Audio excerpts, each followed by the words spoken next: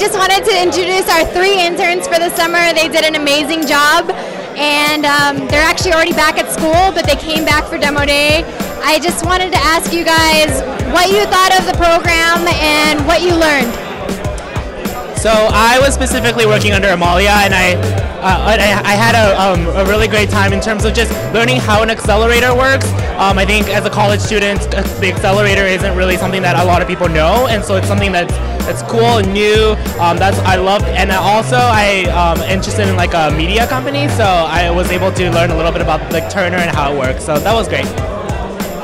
Um, so I was a software engineering intern here, and I think the greatest part of that about the experience was that the whole San Francisco office sort of had a startup feel to it, but it had the entire backing of Turner, which is such a, like a large organization that I felt like I got a lot of opportunities that I wouldn't have been able to get anywhere else.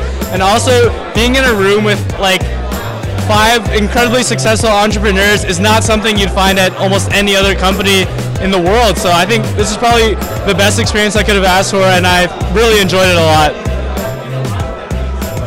Yeah, the opportunity we had at Turner, um, just going as an undergrad, not very many software engineers get get a chance to interact with startups this um, at this stage. Like you'll hear about it or you'll work on work with startups as they're successful, but going working with the startups over this week period, the many weeks, is just an amazing opportunity that many people don't actually actually ever get to have. So that was that was just great.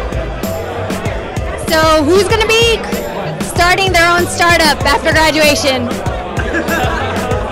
right, I think we accomplished our mission. Thank you guys so much for an amazing summer.